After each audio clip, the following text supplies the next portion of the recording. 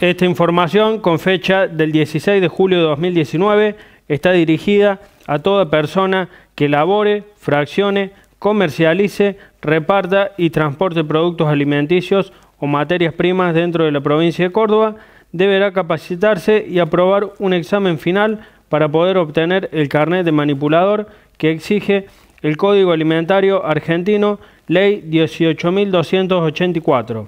Este carnet tendrá una duración de tres años y validez en todo el territorio nacional.